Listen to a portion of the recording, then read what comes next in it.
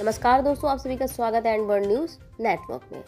तो एम्स में पहली बार हुआ और सफल रहा लंग ट्रांसप्लांट जानिए पूरी बात। एम्स भारत देश का दूसरा सरकारी अस्पताल बन गया है, जहाँ लंग ट्रांसप्लांट किया गया है। वहीं लंग ट्रांसप्लांट का मतलब होता है कि इस सर्जरी में मरीज़ के एक या दो बीमार फेफड़े निकाले जाते हैं और उनकी जगह किसी डोनर का स्वस्थ फेफड़ा लगाया जाता है। वहीं फेफड़ा प्रत्यारोपण कार्डियक थोरेसिक सर्जरी विभाग के डॉक्टर ही करते हैं। लेकिन फेफड़ा प्रत्यारोपण शुरू करने में एम्स को करीब 28 साल लग गए। वो कहते हैं ना, देर से सही पर दुरुस्त आए। ठीक उसी प्रकार एम्स के साथ भी हुआ। हालाँकि लंग ट्रांसप्लांट में तमिलनाडु और हैदराबाद के निजी अस्पतालों में यह आम बात हो चुकी है। इसी खुशी में एम्स अब शुरुआती 10 मरीजों का फेफड़ा प्रत्यारोपण करेगा और इलाज का पूरा खर्च खुद ही उठाएगा। पहले प्रत्यारोपण में 30 वर्षीय महिला मरीज़ को भी निशुल्क प्रत्यारोपण प्राप्त होगा। तो वहीं आपको बताएँ कि एम्स में लंग ट्रांसप्लांट के लिए गठित टीम के सदस्य और कार्डियोलॉजी विभाग के प्रोफेसर डॉक्टर संदीप सेठ ने कहा कि डॉक्टर रणदीप गुलेरिया के एम्स के निदेशक पद की कमान संभालने के बाद ही फेफड़ा प्रत्यारोपण शुरू करने की तैयारियाँ हो गई थी।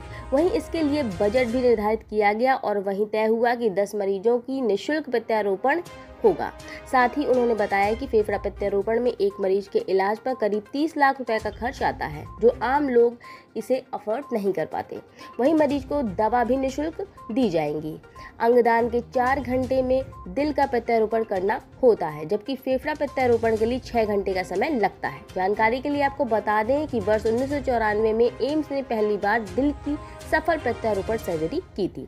तो वहीं डॉक्टर संदीप सेठ ने आगे बताया कि फेफड़ा प्रत्यारोपण के लिए डोनर व मरीज़ का ब्लड ग्रुप एक होना चाहिए, साथ ही उनकी लंबाई लगभग बराबर हो तो ज़्यादा अच्छा है, क्योंकि डोनर व मरीज़ की कद का मिलना ज़रूरी होता है।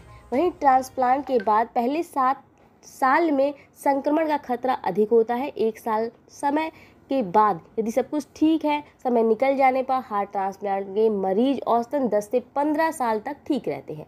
वहीं फेफड़ा प्रत्यारोपण के मरीज़ 5 से 10 साल तक ठीक रह सकते हैं। इसके बाद उन्हें दिक्कत आनी शुरू हो जाती है। वहीं अगर हम आगे बताएँ तो सफल ट्रांसप्लांट की बात करें तो मोहन फाउंडेशन नामक एक गैर सरकारी संगठन के आंकड़ों के अनुसार तमिलनाडु में पाँच साल में 419 और हैदराबाद में 132 लोगों में और जबकि दिल्ली में सिर्फ़ तीन प्रत्यारोपण ही हुए हैं। वहीं सबसे पहले पीजीआई चंडीगढ़ में 2017 में पहला फेफड़ा प्रत्यारोपण किया गया था, जिसमें मरीज़ में आठ से दस लाख रुपए का खर्च आया था और तो और इसमें एक साल की दवा भी शामिल थी। उम्मीद है आपको इन्फॉर्मेशन अच्छी लगी होगी। नमस्कार। अगर आपको हमारे द्वारा दी गई जानकारी अच्छी लगे तो कृपया हमारे चैनल को लाइक सब्सक्राइब और अपनों के बीच शेयर ज़रूर करें। धन्यवाद।